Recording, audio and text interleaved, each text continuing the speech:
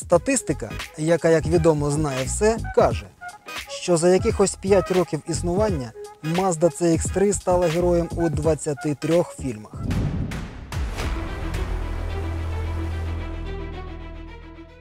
Характерно, що CX3 люблять у поліції.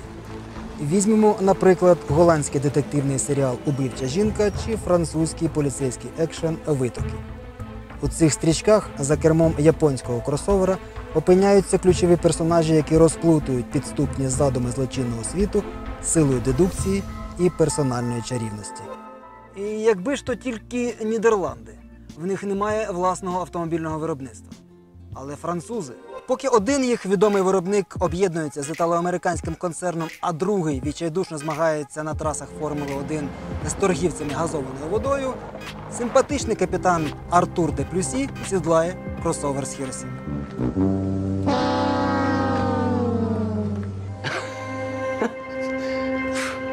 Кросовер службовий, тобто придбаний на кошти французьких платників податків. А що вас дивує?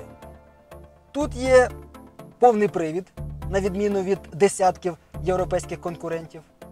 Тут багатюща комплектація в базі, жвавий дволітровий двигун і, власне, дизайн, що зачаровує. Все, що потрібно герою нашого часу.